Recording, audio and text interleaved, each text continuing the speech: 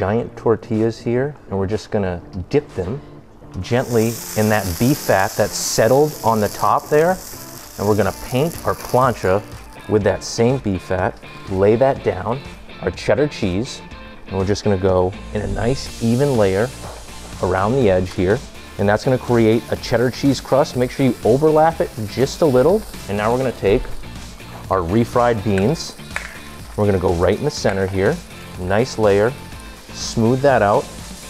And we're gonna let that cheddar cheese, and we're gonna flip that. And now we're gonna add more cheese, cilantro rice, beef, fresh tomatoes.